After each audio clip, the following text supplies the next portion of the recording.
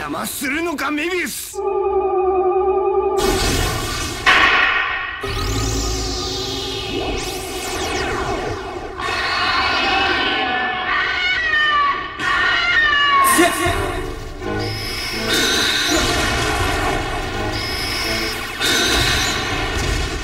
怪獣を止めろ。撃てばいい野蛮で暴力的な地球人め。ドアムルチは私の脳波と同調している。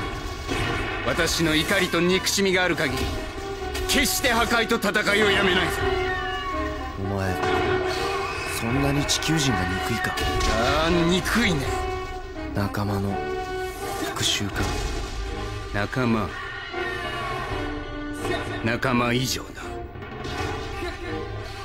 殺されたメイツ星人は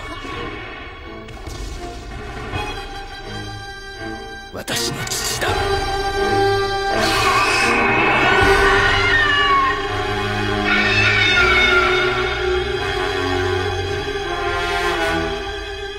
どうした？撃たないのか？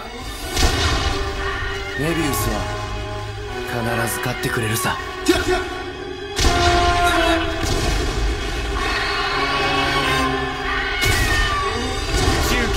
警備隊員も大したことはないな。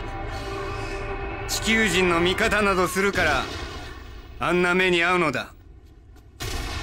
あなたメイツ星の人 ?30 年前に地球にいたのはあなたのお父様？それがどうかしたのか？ああお会いしたかったわ。会いたかっお兄さんが言ってたわメイツ星の人は本当に心が優しいって。た一体何の話をしているんだ？お兄さんというのは誰のことだ？ご存知ないの？あなたのお父様はこちらにいる間地球人の少年と二人で暮らしていたのよ。身寄りをなくして一人ぼっちだった少年と。私が出会った頃その少年は少し大きなお兄さんになっていたの。そのお兄さんに聞いたのよ。